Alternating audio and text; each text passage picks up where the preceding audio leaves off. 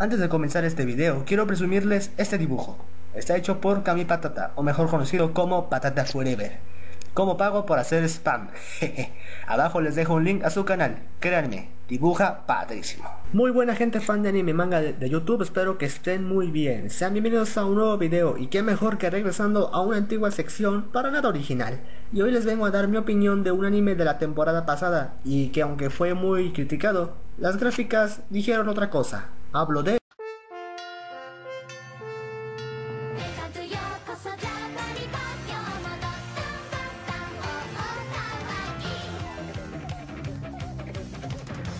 Oh sí, y bueno, antes que nada hay que saber de qué trata. Bien, Kemono Friends tiene como argumento a un parque llamado Hapari Park, el cual es un enorme zoológico situado en algún lugar del mundo donde viven varios animales en semi-libertad.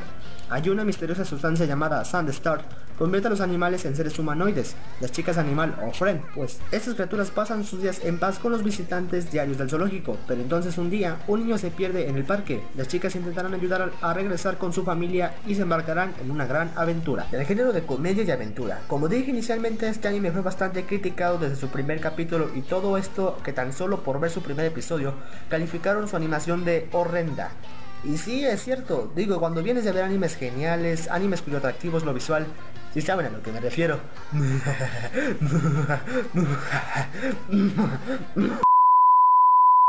ok, ya. Y después entras y ves esto, en Houston tenemos problemas visuales. Esto ocasionó que cuando el anime estaba en emisión, eh, muchas personas no decidieron aventurarse a un segundo capítulo. Y si lo llegaron a hacer, les puede volver a costar ver otro capítulo. Sin embargo, a pesar de esto, para quien se aventuró a ver más de capítulos, llega un momento en el que por algún extraño motivo el anime empieza a cambiar el sabor de boca y de ojos que inicialmente te deja.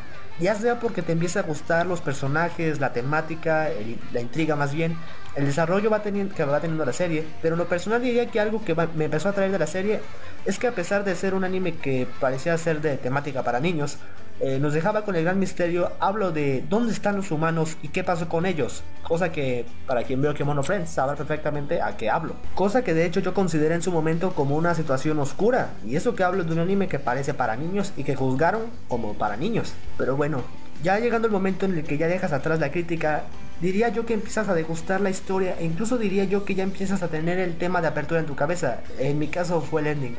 Y es así como vemos que inicias viendo el anime con mala gana y terminas ya hasta con el opening rodando por tu cabeza. O bueno, eso es lo que en mi opinión yo pude notar de mí mismo cuando empecé a ver el anime y cuando ya iba por los últimos episodios. Y tanto lo, y no solo pero a pesar de verlo en mí mismo, también lo pude ver en la gente que también se estaba viendo el anime en emisión. Ya que cuando comencé a ver el anime, en todos los comentarios respecto a este eran negativos, pero mediante fue avanzando los episodios, la opinión fue cambiando.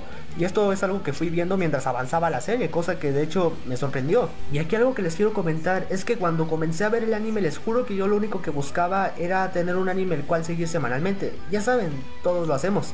Y cuando vi el primer capítulo de Kemono Friends, compartí un poco de la opinión general del público y le tenía más fe a otros animes cuya temática era diferente, mejor animación e historia atractiva, y al final esos animes me terminaron decepcionando y Kimono Friends me terminó gustando. Sí, así es, Kimono Friends me gustó. Y algo que me sorprendió después fue saber que Kimono Friends venía de un videojuego que no tuvo mucho éxito y que se había destinado poco presupuesto al anime, e incluso tuvo sellos novatas. Y también me impactó el hecho de que aunque el anime fuera considerado una mierda en esta parte del mundo, en Japón era todo lo contrario. En Japón era un éxito. Incluso fue escogido como el, anime de invierno de la temporada pasada. Así que aquí tenemos el ejemplo de que a veces la suerte puede cambiar el rumbo de lo que menos se piensa. Así que ya para concluir mi opinión de si tuviera que calificar al anime le doy un 8.2.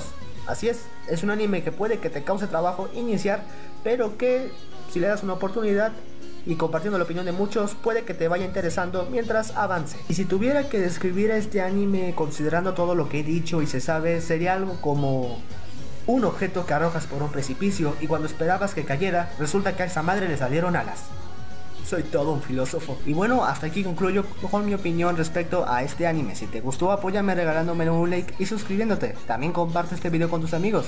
Espero que mi forma de opinar te haya sido agradable o por lo menos aceptable. Si quieres que algún día dé mi opinión de un determinado anime, solo pídemelo en la caja de los comentarios. Si quieres tener contacto más cercano conmigo, te dejo mis redes en la parte de la descripción. Ya sin más que decir, yo soy Gabriel García, cuídense mucho Bye.